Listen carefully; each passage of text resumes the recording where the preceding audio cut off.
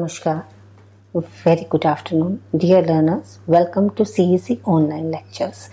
I, Dr. Renu Tomar, is going to talk about relevance of Indian thinkers on education. It's part 7th of the session, which we started in March. So, friends, this is the last session. Just to recap what we have done in our first six sessions, let me talk about whatever we have covered till now. If you remember, when we started talking about relevance of Indian thinkers on education, we had certain objectives or agenda for the uh, for this particular topic. We first of all we talk about that why is it so relevant as to talk about the educational thoughts of Indian thinkers to the present education system. So we discussed its relevance. In that context, we talk about the Renaissance, Indian education system Renaissance, which existed during 19th century. And during that tenure usually the educated class came forward and substituted education as a way of social transformation as well as a way of economic transformation as well as a way to attain independence Apart from that, we have also discussed aims and functions of education and pedagogy as well. We talked about the pedagogical practices in the classroom with respect to educational thinkers, that is, Indian educational thinkers. We talked about that how Vedas or Upanishads had impacted our education system and why is it so relevant that we take into cognizance the kind of a thinking which has been propagated not just by the Indian thinkers who were born in recent century, that is 18th century and 19th century. Rather, we should also be concerned about that how education system in India has come up, particularly in, during the ages of Upanishads, during when Vedas were written, and what kind of education system we had before English came.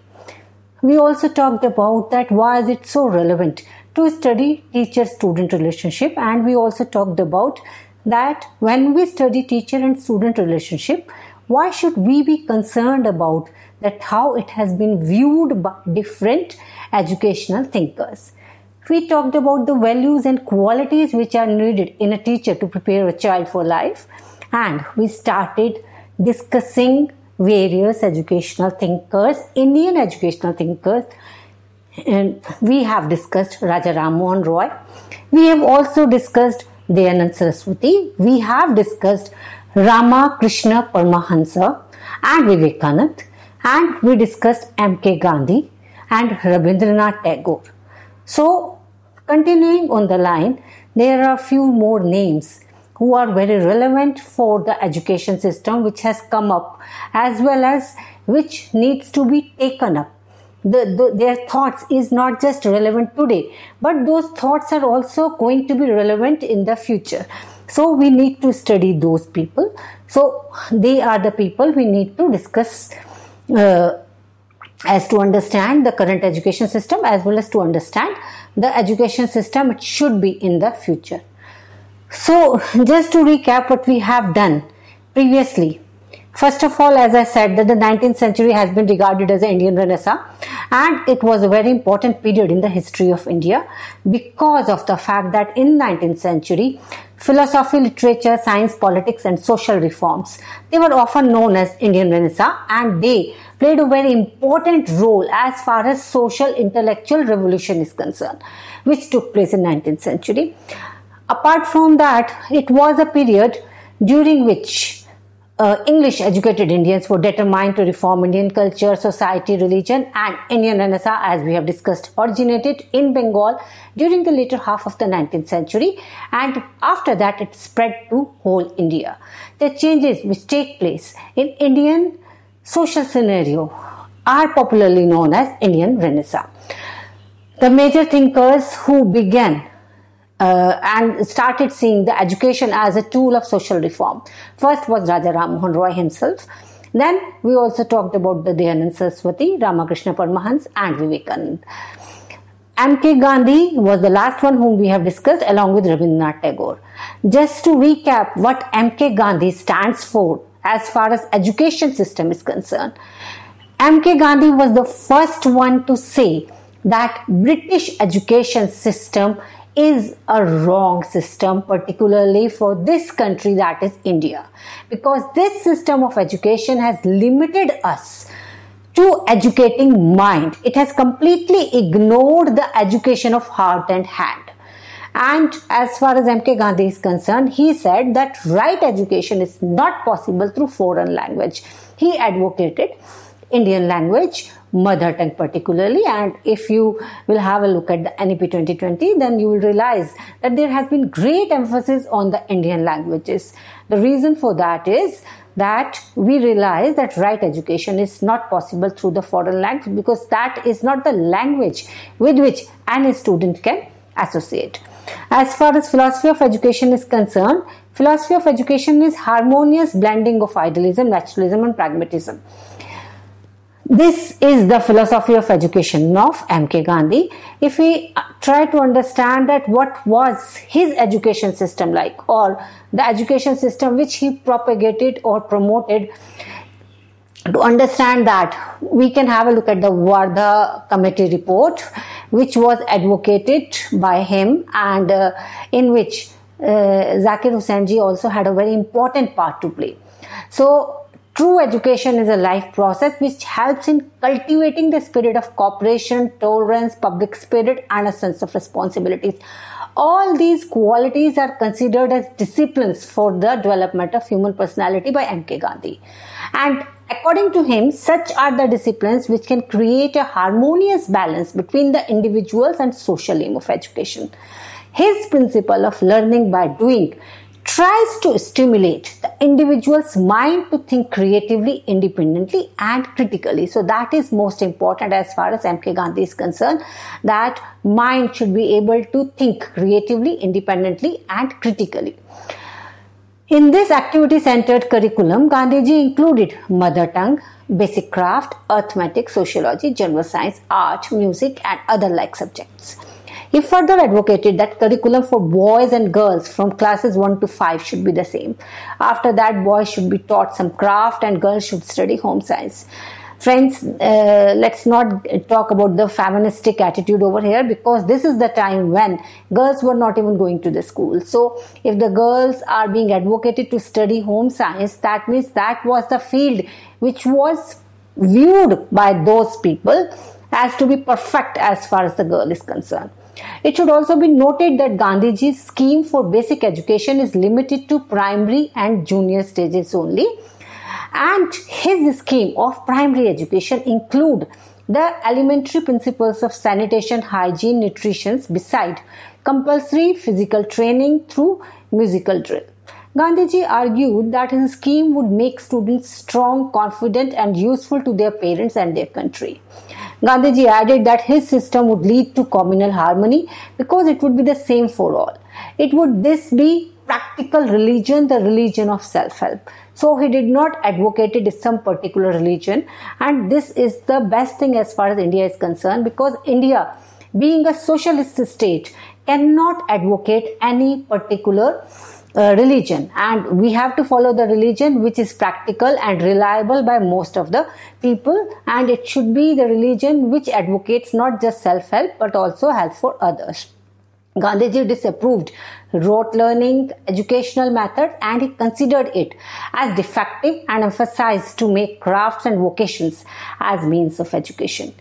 He wished that some local craft should be made as a medium of education for children so that they develop their mind, body, and soul in a harmonious way and also meet the end. Uh, also meet the end means they are able to earn their livelihood based upon the learning which they have acquired during the schooling. So in this way, Gandhiji's method of teaching is different from the current one because current one is still advocating on uh, rote learning. So more of it is oriented rote learning only. Rather, Gandhiji talked about, emphasized an importance of following uh, learning by doing rather than rote learning. And rote learning was completely, completely disapproved by Gandhiji. M.K. Gandhi achieve, talked about achieving mental development by training of senses and parts of body. He said that reading should precede the teaching of writing. That means student in his early learning should be uh, learning how to read rather than how to write. So after the student has learned completely how to read, only then we can advocate his writing. In fact, he also advocated that more opportunity should be given for learning by doing and encouragement should be given to learning by experience. So, as far as correlation is concerned, he would say that the teaching method should be correlated with learning experiences. And what kind of teaching method should be advocated? The teaching method which needs to be advocated is imitation, activity, oral, correlation, listening, thinking, and practice. Just to talk about all teaching methods briefly, imitation means that the student should be seeing what he or she or she wants to do. So, uh, just as a girl child who wants to learn how to cook, he or she has to imitate the mothers and this is what the kids do during the games also when they play the games they un- try to imitate their elders, just as girls imitate their mothers. Similarly, boys imitate their fathers by working on the computers or by uh, by doing things which they think that being adult their father is doing. So, imitation is one way of teaching which he has advocated. Second way of uh, teaching, which has been advocated by MK Gandhi, is activity. Activity based learning means the student will be doing learning by doing as he said. That means the craft should be introduced such kind of subject should be introduced in the curriculum in which the student will get a chance to perform perform in a based upon activity. And that way the student will be able to do better. Similarly he talked about oral learning. Friends from oral learning what we can understand is if we have a look the what, kind of education system we had during Upanishads or Vedas time, we had oral system. Oral system meant that the students used to listen to their teachers and teachers used to orally talk about the topics and it was never noted. In fact, oral system was prevalent and that was quite successful also because we know in ancient India has produced various uh, uh, theories which which prove that they understood the system, the uh, maybe the astronomy or the other systems much better than even the Indian current system or uh, English current system or we can say the global current system. So oral system was prevalent and it was quite successful also. Oral and activity is the system which is usually followed in uh, Indian ancient system. Another method which was advocated by MK Gandhi is that of correlation. What does correlation means? Correlation means that the student should be able to correlate the activity with the performance as well as able to correlate it with the expectations the society has, the family has from him. How would that come? That can only come if the student understand the importance of that particular learning that is why Gandhiji has advocated craft skill and the other skill in which he will be doing and those skills would be utilized by him when he will be going to the market or performing uh, as to earn his livelihood. The fifth but the most important teaching method which has been advocated by MK Gandhi is listening, thinking and practice. Listening means because the teacher is oral and uh, you listen after that uh, you speak and you think that means critical method as well as creative method and practice again it is learning by doing so you can understand that mk gandhi has advocated the teaching methods which are relevant not just today but would be relevant in the future also because it has been proven by various psychologists various philosophers as well as various educationists that the education which follows learning by doing is much better than the education which follows learning by uh, memorizing. Friends, another educator whom we need to discuss is Zakir Hussain. Zakir Hussain Khan, as we know, was an Indian economist and politician who served as the third president of India from 13th May to 1967 until his death on 3rd May 1969. So almost for two years he was there and he was the first Muslim president of India who died in his office. So Dr. Zakir Hussain is known only not only for being a nationalist leader, he was a selfless nationalist leader, but he was an educationist par excellence. He, uh, his excellence is filtered in various documents as well as various speeches he has given. In fact, just like his contemporary Dr. Ambedkar, he also thought of education as a potent tool for social justice and empowerment. He considered education as a very life sustaining sap of a cultured society. The problem uh, he, he understood that the problem for this state of affair, as far as the education is concerned, needs to be attended to, like sitting for long hours silently. This is what students do. They sit for long hours silently in their classroom receiving lessons and not being able to do anything, think anything. Creativity critically is totally absent in the classroom. So this was the problem which he has cited again and again. In fact, if we have a look at the uh, uh, whatever he has talked in the Wardha committee, in Wardha committee report, on education in 1937, which was headed by him, that is Dr. Zakir Hussain. It's based upon the series of articles published by Gandhi in Harijan. The basic scheme of education has the following important feature. One, mother tongue should be the medium of instruction. Second, there should be free, compulsory and universal education within the age group of 7 to 14. Then, manual productive skill should be imparted in the children and special emphasis on handicrafts has been given. So he has also again talked about the productive skill as well as learning by doing. So in that handicrafts plays a very important role. He has also talked about fusion of theory and the practical that is learning by doing and co-education should be introduced particularly at initial stage. Initial stage that when the kids are small. So core aim of basic education as far as Zakir Hussain is concerned is to help students to develop self-sufficiency. Education should develop human values in the child. It should be aiming to achieve the harmonious development of the child's body, mind, heart and soul. It is similar to what Gandhiji has also advocated. So Zakir Hussain also believed that education should be geared to create useful, responsible and dynamic citizens and religion should not be interfering with education and students should be taught just as the Gandhiji says, the practical religion should be there. So similarly, Zakir Hussain also said that students should be taught in such a manner that religion does not interfere.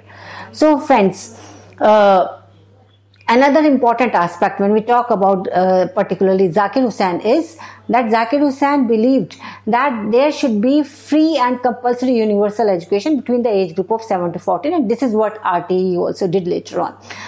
Uh, when we introduced uh, right to education. So this was basically an agenda. Just think that how visionary uh, these people were that they talked about it in 1937 but we took almost decades decades to as to have this in place as to introduce RTE now we are talking about extending RTE to the age group of 18 so this is something which uh, gives us an idea that these people were really very intelligent as well as visionary. They were the people who were really wise. That is why we need to look back again as to understand that how they have viewed education because whenever we look at their philosophy or their understanding through the documents available to us we find that their understanding of education was not just uh, practical not just uh, real but also visionary. So we sh- we need to discuss them we need to talk about them we need to follow them and pick up certain strength which we can introduce to our education system. Zakir hussain also talked about manual productive skill and uh, particularly when he was emphasizing on handicraft he was basically concerned about that student after passing out from the school he or she should be able to earn one's livelihood. Because Uh, this was a very important statement which was given by Gandhiji also. When they believed that school to make the school apolitical it is very much relevant that the school should be able to earn for itself. How can school earn for itself? Only if the school is manifesting skill in its education system if skills are being manifested in the education system then of course students will be also producing they will be productive. They will be producing something which can be utilized uh, for the market which can be sold off and thereby the schools can become independent and this is what has happened in most of the communist societies also that the schools have been the colleges have been and the universities have been again and again asked to become independent so friend on this note uh, I, Dr. Renu Tomar, take your leave. I shall be joining you soon again as to discuss last part of this particular session that is relevance of Indian thinkers in education system. Namaskar, Jai Hind, stay safe and stay healthy. Thank you.